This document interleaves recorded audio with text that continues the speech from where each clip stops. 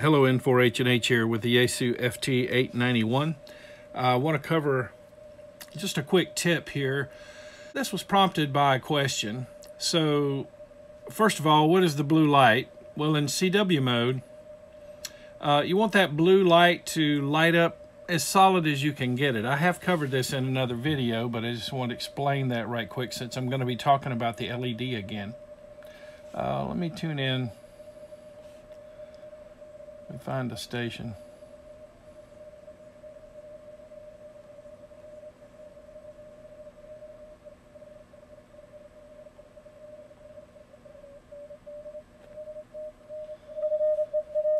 Wow, pretty strong station there. I'm going to press the zero in button, which will adjust the VFO to whatever frequency it needs. Look at that light. Okay, now I'm going to go into the function menu. I'm going to turn on intercept point optimization. With a signal that strong, I do not need an uh, RF amplifier. Okay, so uh, now I want to show you here. Pitch is at 600 hertz. So that's what I want my side tone to be, the CW pitch. And so what's happening with the ZIN you see it's in there too, but I've got it assigned to my A key. Notice ZIN.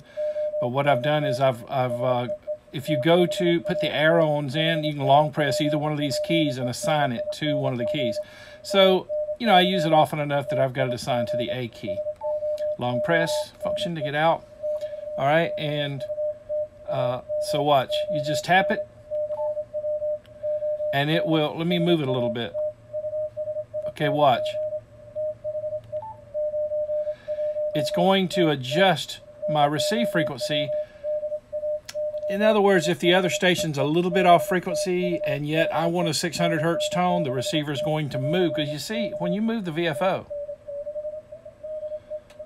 you change their pitch, but I want 600. So zero in.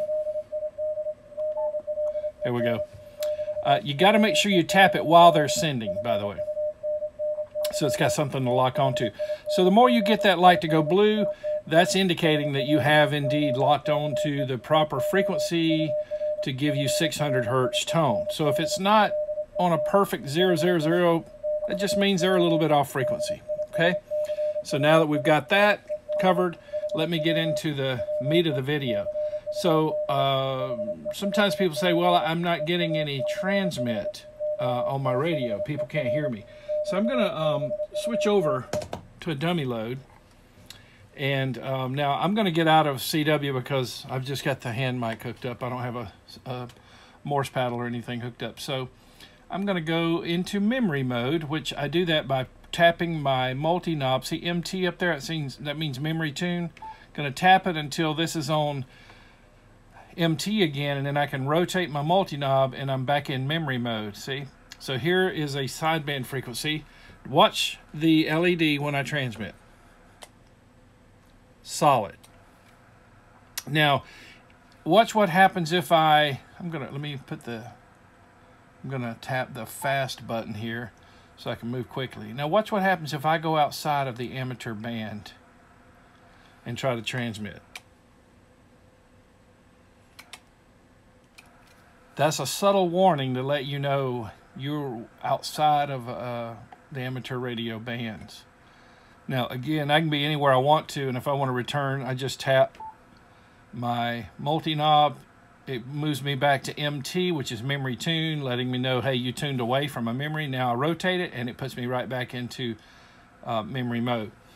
So if, if you're not sure you're getting output, and I want you to notice right here, it says SWR. Barely moving. I'm, I'm, transmitting into a dummy load. I leave my metering on SWR just so I can quickly catch if I've got a situation going on, you know, with a high SWR. Now I'm going to go into the function menu and tap it and tap it and tap it and tap it and there's MTR for meter. Now I'm going to press that in to turn it off and I'm going to press it again to make a selection. Okay, there we go. I'm going to move it over to power out. PO. Now See, it says PO. Hello. N4, H and H. Hello, hello. Now, you may be wondering, well, how come that's not going over to 100? Well, for one thing, this is not a peak reading meter, but let me show you why. I'm going to long press the function key and go into the big menu, okay?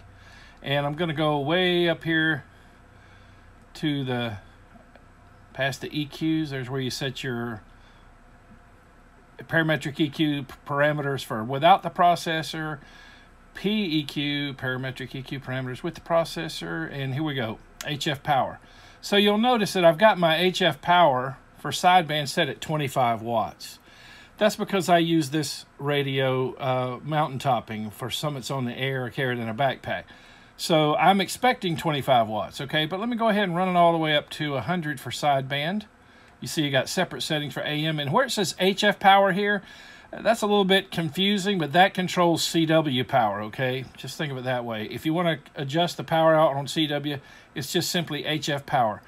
This is HF SSB power. Now I'm just going to single tap function to get out of there. Still set on power out, going into my dummy load. Hello, hello. Now we're pushing right at 100 watts. Hello. See what I mean? Now, so if you're concerned that you're not getting any power out, put the metering on PO, go into the big menu here, and make sure you're, if you're doing SSB, make sure it's on 100 if you want to make sure you're getting 100.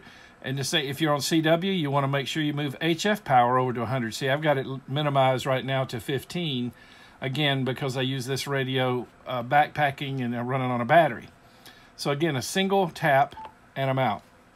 Hello, hello, hello. So you want to see a solid red light and you want to see the meter jumping over like that to indicate that you are getting power out.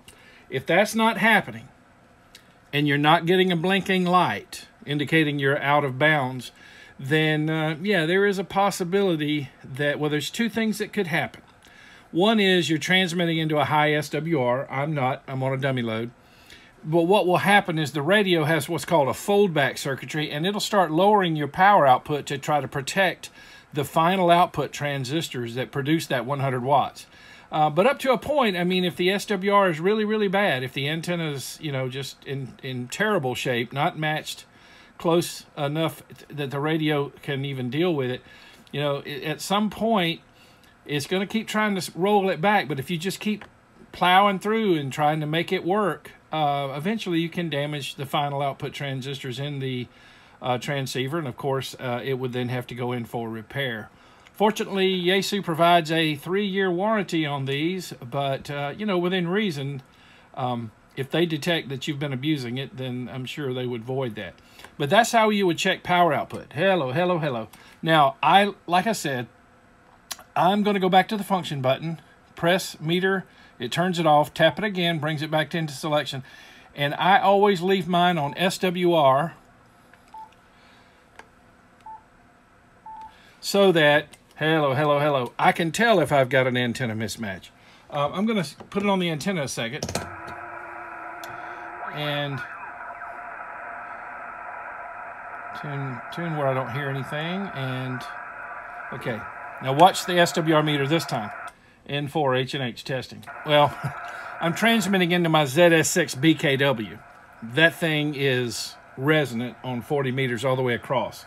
Uh, let me I'll transmit into my off-center fed dipole. N4 HNH testing. Okay, there we go, 1.5 SWR, which is about right for an off-center fed, 80 meter off-center fed dipole on 40 meters. You know, it gives you uh, resonance on 40 and 20 and 17 and 12 and 10 and 6. See, again, I'm reading S units right now, but this is indicating that when I transmit, I'm going to then read SWR N4 HNH testing. All right, so back to the dummy load.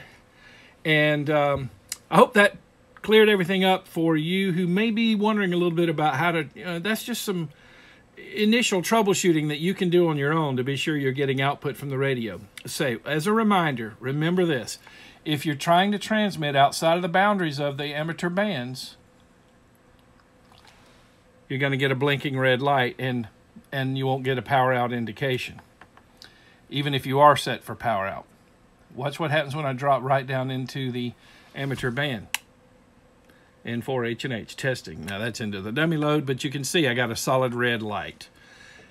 And one more time, function button, until I see MTR. There we go. And then change it to, whoops, you got to be quick about it. change it to PO. I'm usually quicker about it, but I'm talking at the same time. And then long press function to get out of the function menu. N4 HNH testing. See, now it's showing power out. If you're getting all of that, then and people can't hear you, then you've got a problem um, with your antenna, and that's why I would say, well, then what you're going to want to do is do what I do and leave that on SWR, long press to get out. And now if you say N4 HNH testing, and this meter is going way up, there's your problem. It is your antenna. You've got a severe mismatch. Okay, I hope someone found this helpful and informative.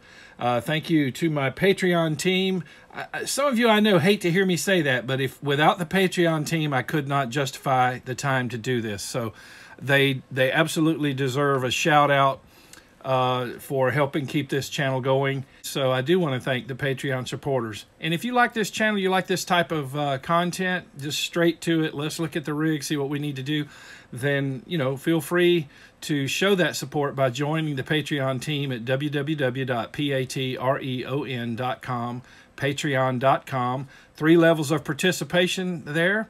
Associate, executive, and VIP. The executives and VIPs, you have access to some exclusive content not available to everyone else. One of the more popular uh, things uh, would be the menu and optimizations document for this radio here. I've got one for the FTDX10, the FT991A, and the FTDX 5000MP. It goes through my menu optimizations for these radios and even what all of those buttons and knobs do and how I combine them to do uh, wonderful things that these radios can do these days.